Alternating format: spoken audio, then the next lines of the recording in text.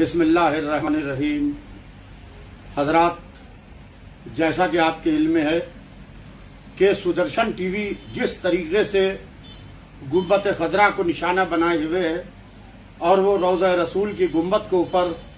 جس طریقے سے اپنے ٹی وی چینلز کے اوپر میزائلوں سے حملے کروا رہا ہے اور پوری طریقے سے میزائلیں چلوا رہا ہے،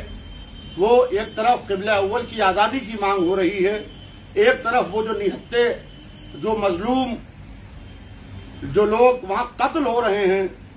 ان کو انصاف دلانے کی بات ہو رہی ہے، تو سدرشن ٹی وی نے اس کے خلاف پوری ایک مہم چلا رکھی ہے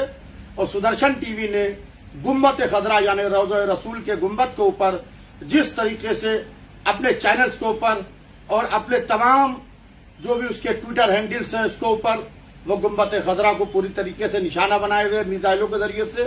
میں آل انڈیا شیعہ پسلا بورڈ کی جانب سے بھرپور طریقے سے اس کی مدمت کرتا ہوں اور آپ تمام حضرات سے گزارش کرتا ہوں کہ سدرشن ٹی وی کے خلاف پروٹیسٹ کریں اور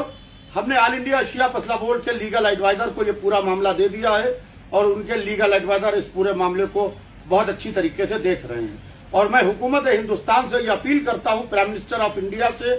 اور information and broadcasting minister سے کہ باقاعدہ سدرشن ٹی وی کے اوپر سخت سے سخت کاروائی کرے، کیونکہ اس سے ہماری بھاوناؤں کو ٹھیس پہنچ رہی ہے، جو روزہ رسول کو اور گمبت خزرہ کو نشانہ بنایا جا رہا ہے۔